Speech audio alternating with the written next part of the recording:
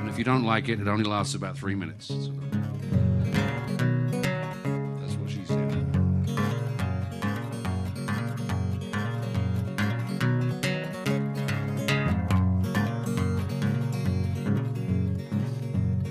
See, I stole that joke from Jimbo Mathus. I just realized. I spent my life traveling overseas with a low down aching heart disease. A mission for myself to find, drink that woman off my mind. And I failed. Well, I guess I'll just keep on trying.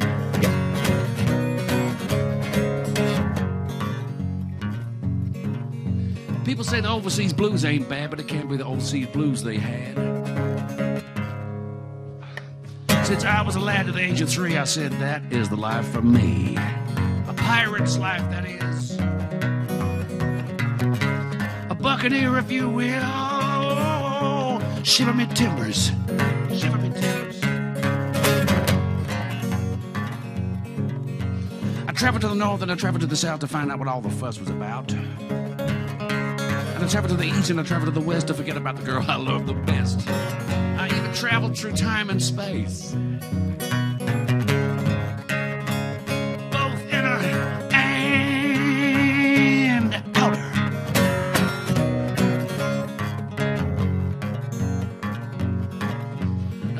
Mothers with wayward sons, don't stop your boys from having their fun. Just let them on the way. I'm begging you, please. Ain't nothing wrong with going overseas. What's the worst that could happen?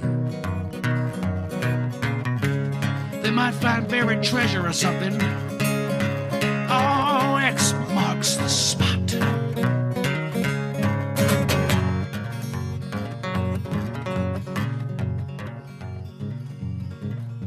So jump aboard, we're getting out of here unless you're some kind of mutineer. In which case, I can assure you with that, you're going to get a taste of the nine-tailed cat. That's a whip. You're lucky you ain't getting keel hauled. Yes, or walking the plank. Arr, the Pirates Blues, thank you.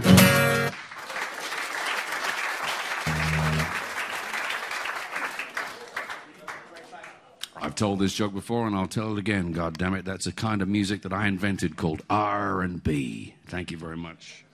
That's my only joke. You'll be very pleased.